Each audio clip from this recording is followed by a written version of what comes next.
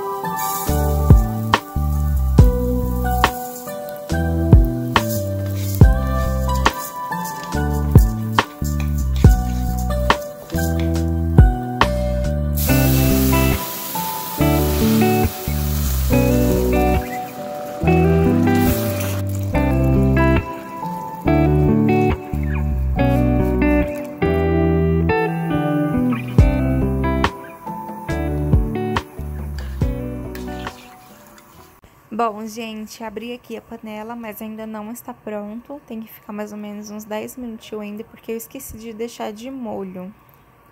Mas eu já vou colocar aqui o tempero, para ele já pegando o gostinho. E esse tempinho que falta, ele já vai engrossando e já vai ficando com o gostinho do tempero. Aqui eu estou colocando o alho e vou acrescentar também um pouquinho de sal. Ó, gente, se passaram 10 minutos Olha que feijão maravilhoso. Eu gosto muito dessa marca aqui, caldo, porque ele fica bem branquinho e fica muito saboroso. Eu não deixei de molho, eu esqueci. E ficou mais ou menos uns 30 minutos na pressão, no fogo alto. Agora eu vou colocar aqui também um coentro. Eu amo feijão com coentro, eu acho que dá outro sabor, fica maravilhoso. E olha, esse feijão fica branquinho assim mesmo, tá?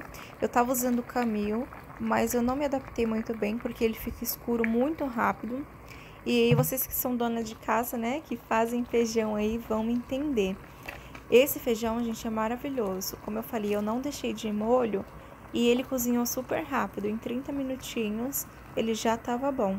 Agora eu vou deixar aqui cozinhando um pouco mais, né, ferver, para ficar um caldo mais grossinho. Vou fritar aqui também uma calabresa. Eu achei que tivesse cebola, mas não tem, então vou fritar só a calabresa mesmo. E eu gosto de fritar com um pouquinho de, de margarina. É bem pouquinho mesmo, só pra não grudar, né? E deixar um saborzinho melhor. Eu vou almoçar e tô querendo fazer um arroz doce. Se esse vídeo não ficar muito grande, eu vou gravar também e coloco a receita pra vocês. Ele é muito bom, porque eu faço com creme de leite, leite condensado, coloco coco, então fica bem cremoso e fica uma delícia, né? Agora, nesse tempo friozinho, façam aí depois me contem, hein? Se você tá gostando já desse vídeo, não esquece de curtir, deixa aí o seu like, que me ajuda muito. Se inscreve no canal se você não é inscrito, né? Ativa o sininho das notificações E deixa aí o seu comentário se você gosta desse tipo de vídeo, de estar tá acompanhando um pouquinho mais, né? Desse processo aí de rotina de casa, de fazer comida, de fazer receitas. Deixa aí o seu comentário, o seu feedback para mim, tá bom?